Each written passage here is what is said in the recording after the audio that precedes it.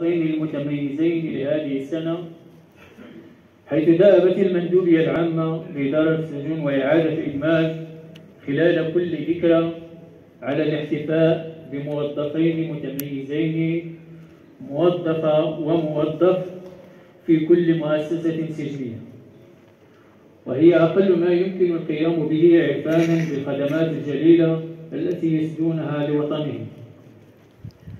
يتم اختيار الفائزين اعتمادا على عدة معايير وخلال مراحل متتالية بدءا بملء استمارة الترشح من طرف الموظف الراغب في الترشح التصويت الإلكتروني عبر بوابة فضاء الموظف وهي عملية مفتوحة في وجه جميع الموظفين بالمؤسسة بدون استثناء.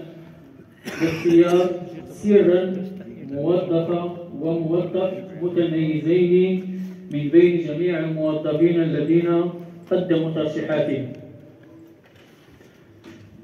بعد ذلك تقييم وآراء وملاحظات لجنة محلية مكونة من السيد مدير المؤسسة والسادة رؤساء المصالح بالإضافة إلى لجنة مركزية حول مدى انضباط الموظف وجديته وكفاءته في أداء الواجب الوطني والمهني.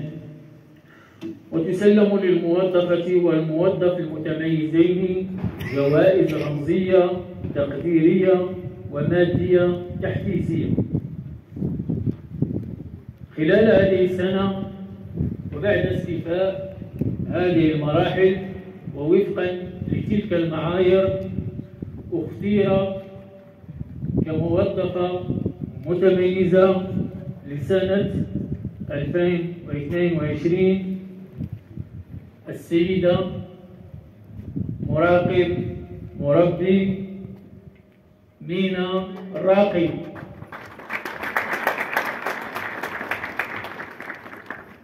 وأدعو سيد باشا مدينة أرجلات لتقديم الجائزة الرمزية للموظفة الفائزة مشكورا.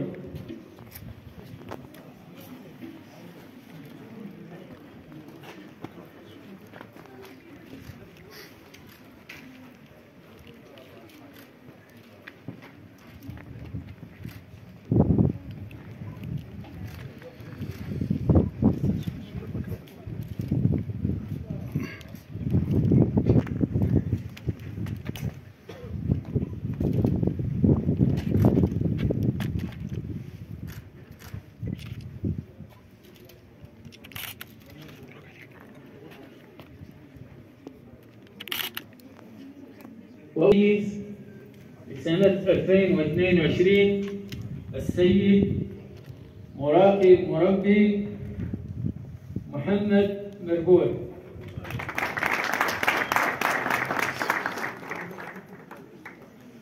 وأدعو السيد نائب رئيس المحكمة الابتدائية بأرسلان لتقديم الجائزة للموظف المتميز. مشكور.